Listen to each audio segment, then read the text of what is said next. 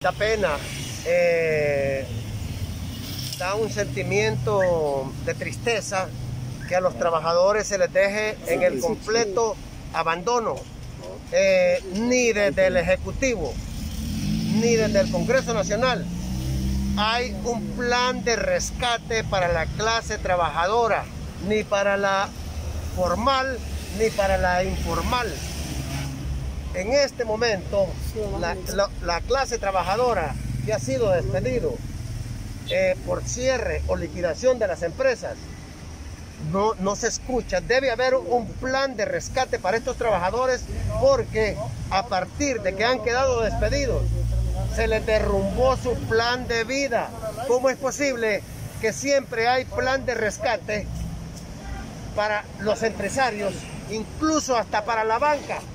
Y no solamente acá en Honduras, sino en todo el mundo. Cuando hay grandes depresiones, grandes crisis, se salvan los empresarios, pero de la clase trabajadora no se acuerdan. Entonces, ¿qué está haciendo el Congreso Nacional si realmente es eh, el que protege los intereses del pueblo?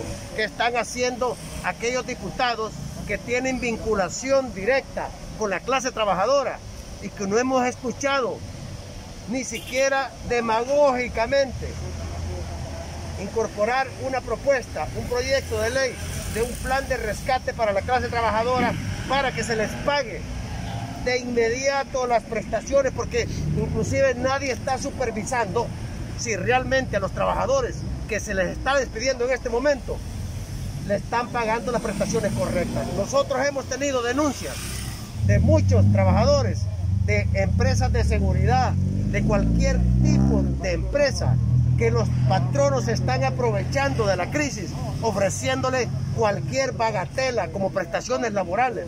Y, y en eso nadie está haciendo Las nada. centrales obreras dicen que de 1.6 millones de hondureños desempleados podría aumentar arriba de los 2 millones. en efecto, y puede superar es- es- esa, esa suma. Pero yo creo que la, entonces eh, eh, nosotros hacemos este llamado a, la gente del Congreso Nacional, a los diputados, pero que también este plan de rescate, eh, las, centrales, las centrales de trabajadores también presenten un plan de rescate al Congreso Nacional. Ahí es donde tenemos que probar a los políticos si realmente están interesados por los intereses de la clase trabajadora, que es la que mueve la economía.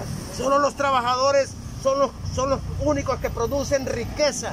El dinero por sí solo no genera riqueza o no genera plusvalía. Los- la clase trabajadora con su trabajo, con su pulmón, es lo único que hace riqueza y que genera grandes ganancias a los empresarios. Y esto, al dejar de producir riqueza, la clase trabajadora, la clase empresarial también va a tener este impacto. Por supuesto, eh, pero ellos, ellos tienen resuelto su problema.